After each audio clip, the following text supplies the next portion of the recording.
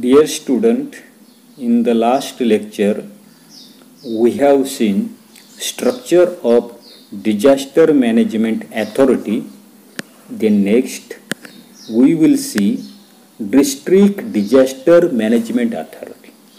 मागच्या का क्लासमध्ये आपण सर्वसाधारणपणे राष्ट्रीय व्यवस्थापन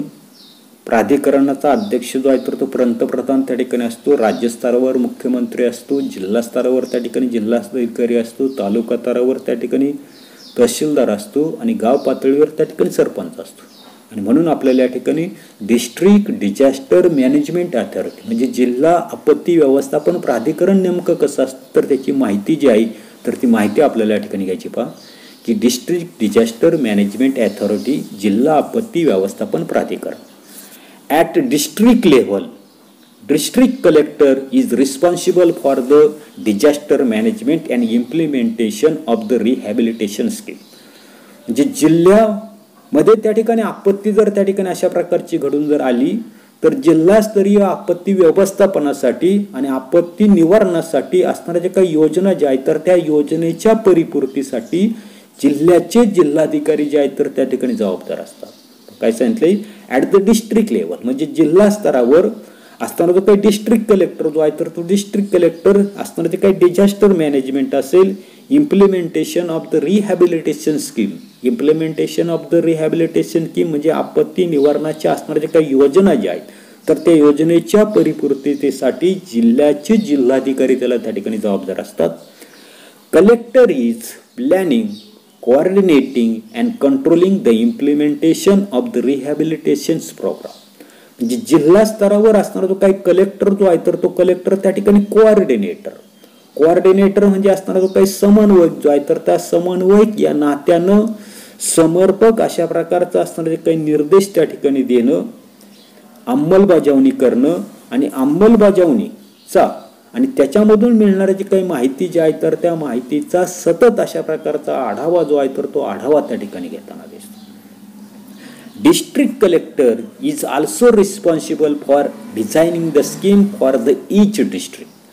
जिल्ह्याचा असणार म्हणजे प्रत्येक जिल्ह्याचा असणारा जो काही कलेक्टर जो आहे तर तो कलेक्टर प्रत्येक प्रकारची असणारी जी काही आपत्ती जी आहे तर त्या आपत्तीसाठीची जी काही अनुवंशिक अशा प्रकारची असणारी जी काही योजना जी आहे त्याला आपण त्या ठिकाणी म्हटलेली आहे designing the scheme from the each district म्हणजे प्रत्येक जिल्ह्याची प्रत्येक प्रकारच्या आपत्तीसाठी अनुवंशिक अशा प्रकारची असणारी जी काही योजना जी आहे तर ती योजना त्या ठिकाणी तयार करताना दिसतो.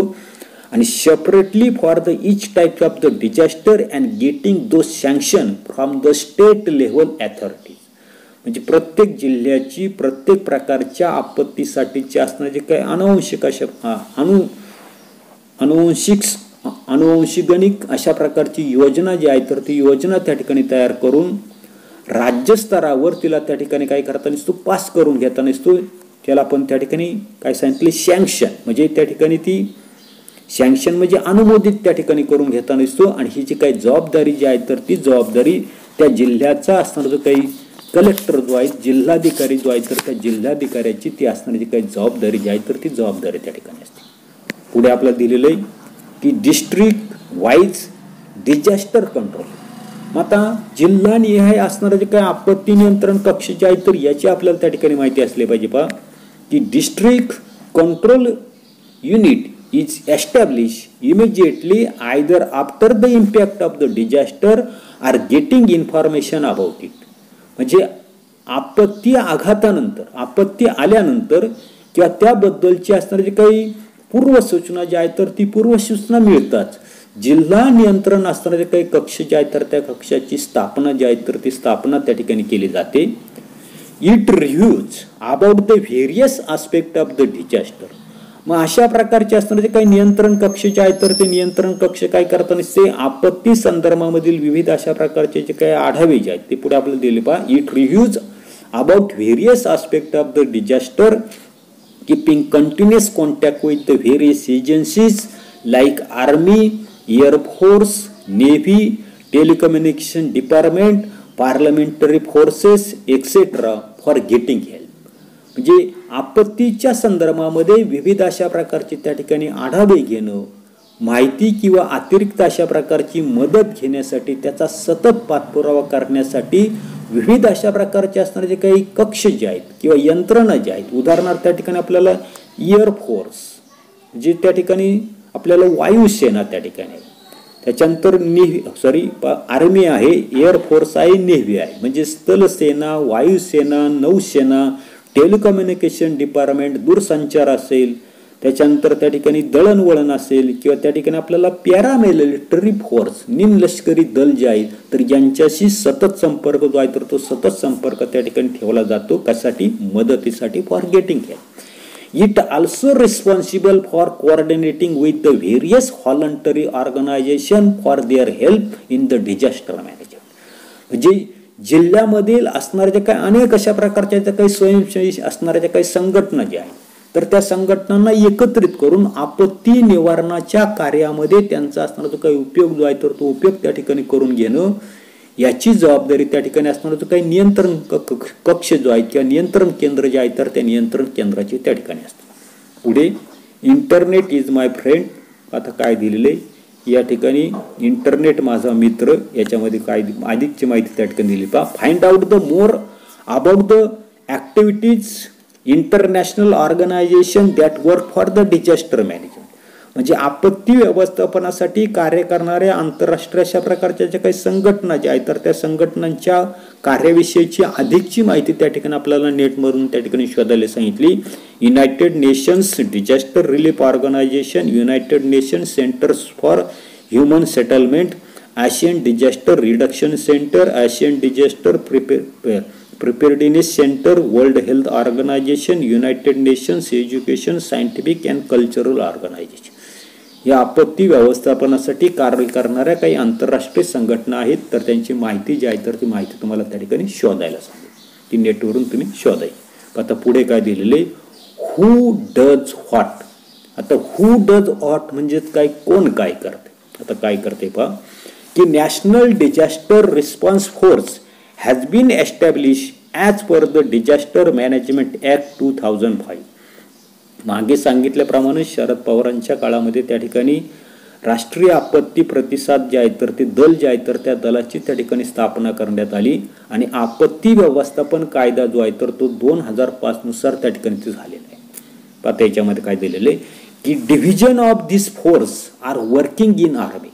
आणि या दलाच्या असणाऱ्या काही तुकड्या ज्या आहेत कशाच्या कोणतं दल तर त्या ठिकाणी राष्ट्रीय आपत्ती प्रतिसाद दल जे आहे तर या दलाच्या असणाऱ्या काही तुकड्या ज्या आहेत तर ते तुकड्या सैन्य दलामध्ये त्या ठिकाणी कार्यरत असणार. Overall twelve divisions are working in our country. संपूर्ण देशामध्ये या ठिकाणी राष्ट्रीय आपत्ती दलाच्या बारा तुकड्या ज्या आहेत तर त्या बारा तुकड्या त्या ठिकाणी कार्यरत आहेत its headquarter is in Delhi and it is in action all over the country with the help of the army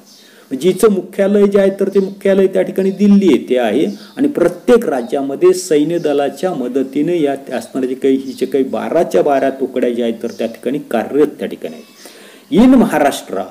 national disaster response force is in action through state reserve police force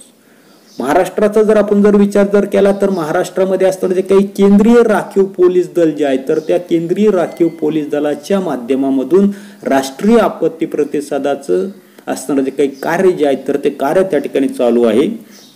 Personnel of this force have sustained substantial contribution in rescue work in disaster like cyclone cliff sliding building collapse etcetera मग आता ही असणार जे काही दलं जे आहेत राश म्हणजे केंद्रीय राखीव पोलीस दल जे आहे तर ते पोलीस दल काय करताना नसतं या दलामध्ये ही असणारे जे काही जवान जे आहे तर ते जवान काय करताना नसतात देशभरामध्ये येणारे जे काही वादळ जे आहे त्याच्यानंतर क्लिप स्लायडिंग म्हणजे दरडी कोसळणं त्याच्यानंतर इमारती पडणं अशा अनेक प्रकारच्या असणाऱ्या जे काही आपत्ती जे आहेत तर त्या आपत्तीमध्ये निवारणाचं म्हणजे ते आपत्ती निवारणाचं आणि बचावाचं मोठं अशा प्रकारचं कार्य जे आहे तर ते कार्य त्या ठिकाणी करताना दिसतात. अधिकची असणारी काही माहिती जी आहे तर ती माहिती आपल्याला त्या ठिकाणी W W H D R F dot government dot in ही जी काय असणारी काही वेबसाईट जी आहेत तर त्या वेबसाईटच्या साह्यानं अधिकची माहिती जी आहे तर ती आधी आपण त्या ठिकाणी घेऊ शकतो. त्याच्यानंतरचा पुढचा भाग आपल्याला पाहायचा आहे तो पहा की कॅन यू टेल सांगा पाहू. आता याच्यामध्ये आपल्याला पहिलंच दिलेलं आहे की व्हॉट इज फर्स्ट एड प्रथमोपचार म्हणजे काय? आता प्रथमोपचार म्हणजे काय? हे आपण त्या ठिकाणी मागच्या यात्ता ज्या आहेत तर त्या यात्तांमध्ये त्या ठिकाणी पाहिलेले. पुन्हा एकदा पहा. First aid is the primary help given to the sick or injure person until full medical treatment is available म्हणजे या ठिकाणी प्रथमोपचार म्हणजे त्या ठिकाणी असणारी काही आजारी व्यक्ती किंवा त्या ठिकाणी इंज्युअर्ड पर्सन म्हणजे ज्याला त्या ठिकाणी अपघात झालेला आहे तर अशा प्रकारचे जे काही जखमी व्यक्ती ज्या आहेत तर त्या जखमी व्यक्तीला पूर्णपणे त्या ठिकाणी वैद्यकीय मदत त्या ठिकाणी मिळत नाही. त्याच्या अगोदर करण्यात येणारं जे काही मदत जी आहे तर त्या मदतीलाच आपण त्या ठिकाणी फर्स्ट एड त्या ठिकाणी म्हणणार सेकंड क्वेश्चन आपल्याला दिलेलं आहे how can we offer first aid to victims of any disaster म्हणजे आपत्तीमध्ये जखमी झालेली आपदग्रस्त जे आहे तर त्या आपातग्रस्तांना तुम्ही त्या ठिकाणी प्रथम उपचार जो आहे तर तो प्रथम उपचार त्या ठिकाणी कसा करा? काय सांगता येईल. The injure person should be help and kept in the resting position in which he or she is at at आपदग्रस्त असणारी किंवा जखमी असणारी जी काही व्यक्ती जी आहे तर त्या जखमी व्यक्तीला त्या ठिकाणी मदत करत असताना ती असणारी जी काही जखमी व्यक्ती जी आहे तर ती जखमी व्यक्ती ती असेल किंवा ती तो असेल तर त्याला योग्य अशा स्थितीमध्ये काय करू आपण त्या ठिकाणी बसू?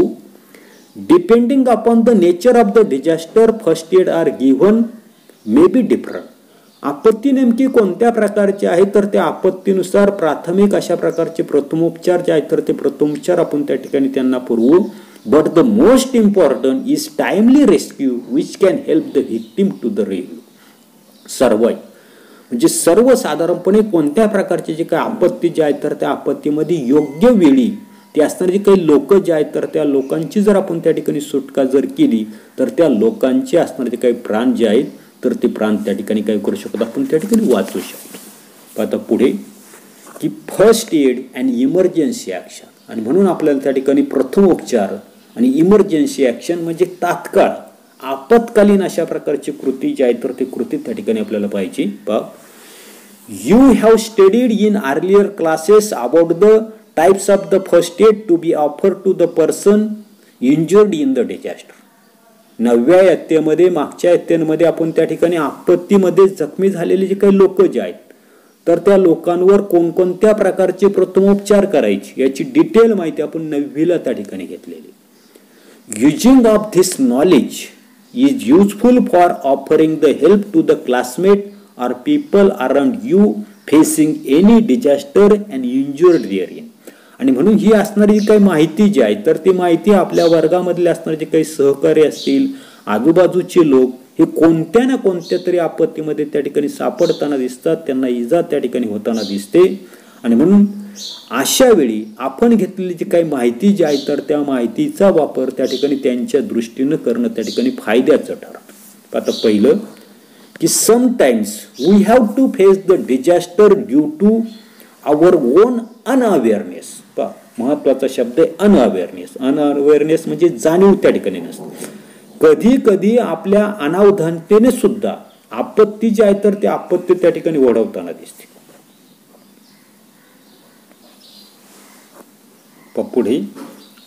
की कधी कधी आपल्या अनावधानतेने सुद्धा आपत्ती जी आहे तर ती आपत्ती त्या ठिकाणी ओढवताना दिसते. Some symbols are given besides are seen used around us आता शेजारी आपल्याला या ठिकाणी तीन सिम्बॉल जे आहेत तर ते तीन सिम्बॉल्स त्या ठिकाणी दाखवलेले आहेत. म्हणजे सर्वसाधारणपणे आपल्या लक्षात येत नसते की परिसरामध्ये वापर वावरत असताना पुढे दिल्याप्रमाणे आपल्याला काही चिन्ह जे आहेत तर ते चिन्ह त्या ठिकाणी दिसतात. Those symbols can be ignore आणि आपण काय करता नसतो ह्याचे काही चिन्ह जे आहेत तर त्या चिन्हांकडे त्या ठिकाणी दुर्लक्ष करून त्या ठिकाणी चालणार नाही. आता पुढे such symbols are useful to avoid the mishap आणि अशी चिन्ह जी आहे तर ती अशी चिन्ह धोके टाळण्यासाठी त्या ठिकाणी आपल्याला फारच उपयुक्त त्या ठिकाणी ठरताना दिसतात. उदाहरणार्थ पहिला जो असताना तो काही सिम्बॉल जो आहे तर ते एक्सप्लोजिव्ह आहे. म्हणजे स्फोटक जे आहे तर ते स्फोटक त्या ठिकाणी दुसरं आपल्याला दिलेले फ्लेमेबल ग्लॅस म्हणजे त्या ठिकाणी ज्वलनशील अशा प्रकारचं वायू त्या ठिकाणी आहे. पुढच्या याच्यामध्ये आपल्याला फ्लेमेबल अशा प्रकारची लिक्विड जे आहेत फ्लेमेबल लिक्विड्स म्हणजे सर्वसाधारणपणे आपल्या लक्षात येत नसते ही ज्वालाग्रही अशा प्रकारचे असणारे काही वायू जे आहेत तर ते वायू आपल्याला त्याच्यामध्ये दिसतात. पुढे लेटेस्ट थिंक आपल्याला दिलेले. लेटेस्ट थिंक पुढे लेटेस्ट थिंक विचार करायचा आहे following are the some pictures of the disaster which precaution would you take during those disaster जे खाली दिलेली जी काही चित्र जे आहेत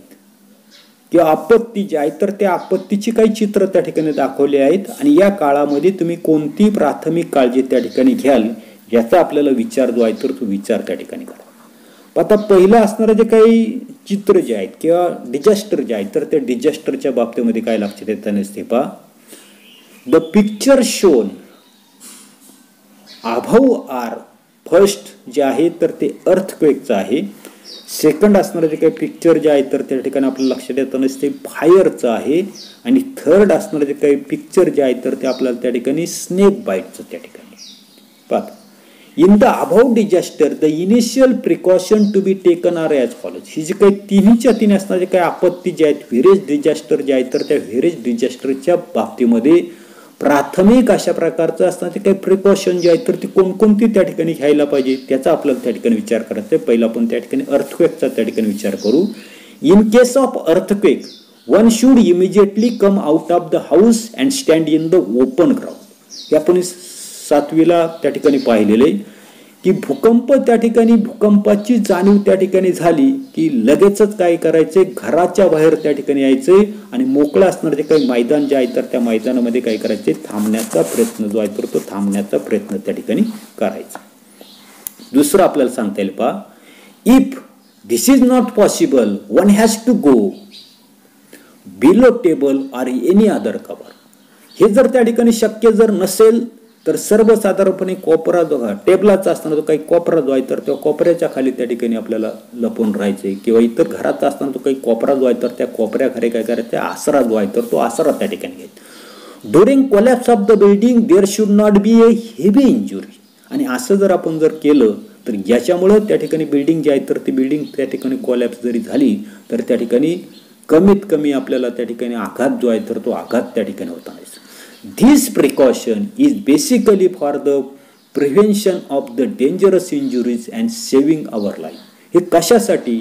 तर सर्वसाधारणपणे अशा प्रकारची कृती त्या ठिकाणी केल्यामुळं आपल्याला त्या ठिकाणी कमीत कमी त्या ठिकाणी काय होतं नसते इंजुरी त्या ठिकाणी दिसते आणि आपलं असताना जे काही प्राण जे आहेत तर ते प्राण त्या ठिकाणी वाचताना दिसतं.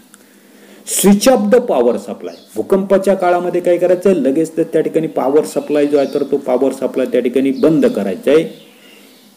If in journey stay inside the vehicle तुम्ही जर प्रवासामध्ये जर असाल भूकंपाच्या काळामध्ये तर काय करायचं तर सर्वसाधारणपणे त्या वाहनामध्येच त्या ठिकाणी थांबून राहायचं. त्याच्यानंतर तो दुसरा आपल्याला पाहिजे तर त्या ठिकाणी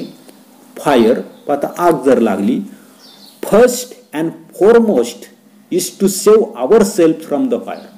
आग जर लागली तर पहिल्यांदा त्या ठिकाणी आपण स्वतःला त्या ठिकाणी वाचवण्याचा प्रयत्न त्या ठिकाणी करायचा.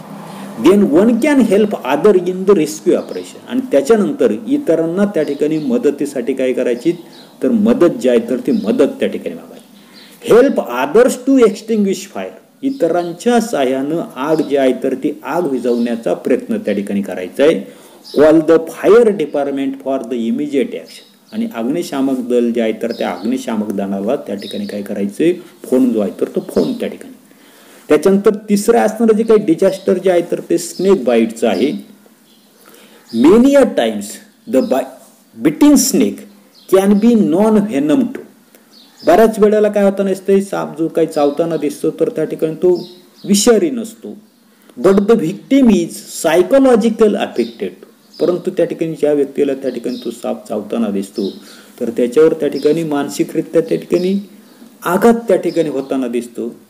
The cord should be tied in the region above the snake bite म्हणजे ज्या ठिकाणी स्नेक बाईट झालेला आहे तर त्याचा वरचा भाग जो आहे तर तो घट्ट त्या ठिकाणी बांधायचा. The rope piece of the cloth or even handkerchief can be used for this purpose so that the venom if any should not rise and reach vital organ असं त्या ठिकाणी घट्ट अशा प्रकारचं त्या ठिकाणी असणारे काही कापड जे आहे तर ते कापड बांधण्यासाठी सर्वसाधारणपणे आपण रस्सीचा वापर करू शकतो कापडाचा वापर करू शकतो किंवा रुमालाचा त्या ठिकाणी वापर करू शकतो की जेणेकरून ते असणारे जे काही विष जे आहे तर ते विष महत्त्वाचे असणारे जे काही अवयव जे आहेत तर त्या अवयांपर्यंत त्या ठिकाणी पोहोचणार the wound should not made near the bite wound so that the बल blood will ooze out and some venom can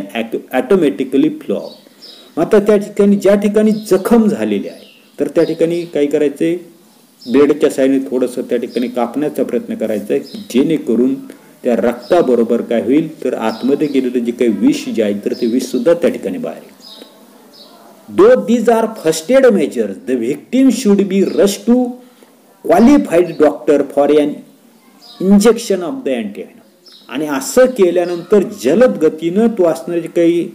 snake bite झालेली जी काही व्यक्ती जी आहेत तर त्या व्यक्तीला तज्ज्ञ अशा प्रकारचे डॉक्टर जे आहेत तर त्या डॉक्टरकडे त्या ठिकाणी नेलं पाहिजे. आणि त्या व्यक्तीला त्या ठिकाणी असणार जे काही इंजेक्शन ऑफ अँटीव्हेनम जो साप चावलं तर त्याच्यावरचं असणारे जे काही अँटीव्हेनम जे आहे तर ते अँटीव्हेनम त्या ठिकाणी दिलं पाहिजे. म्हणजे अशा पद्धतीचे असणारे जे काही आपत्ती जे आहेत तर त्या आपत्तीच्या काळामध्ये अशा प्रकारचे असणारे जे काही डिझास्टर जे आहेत तर त्या डिझास्टरच्या बाबतीमध्ये आपण त्या ठिकाणी काय करू शकतो. अशा प्रकारची काळजी जी आहे तर ती काळजी त्या ठिकाणी काय करू शकतो घेऊ शकतो. त्याच्यानंतर तो पुढे दिलेले पहा. Give the reference of the following picture and explain importance of each of those in the disaster management which are such activities आता हे जे काही ॲक्टिव्हिटीज त्या ठिकाणी व्हेरियस ॲक्टिव्हिटीज आपल्याला दाखवलेल्या या सर्वच्या सर्व पण त्या ठिकाणी इयत्ता आठवी नववीला त्या ठिकाणी पाहिजे आता काय काय सांगता येईल थोडक्यामध्ये. The action shown in the above pictures are as follows आता फर्स्ट ॲक्शन जे आहे तर ते फर्स्ट ॲक्शन पहा कशासाठी दिलेली. The patient is made to lie on the stretcher he must be unconscious and injured to the greater extent so that he cannot move by himself हे असणारे जे काही डायग्रॅम जे आहे तर त्या डायग्रॅममध्ये असणारा जो काही पेशंट जो आहे तर तो पेशंट त्या ठिकाणी स्ट्रेचरवर झोपवलेला आहे. आता स्ट्रेचरवर का झोपवलेला आहे तर तो त्या ठिकाणी बेशुद्ध आहे. त्याला मोठ्या प्रमाणामध्ये त्या ठिकाणी इंजुरी जी आहे तर ती इंजुरी त्या ठिकाणी झालेली तो त्या ठिकाणी हालचाल त्या ठिकाणी करू शकत नाही. आणि म्हणून ए डायग्रॅममध्ये त्या ठिकाणी तो स्ट्रेचर होत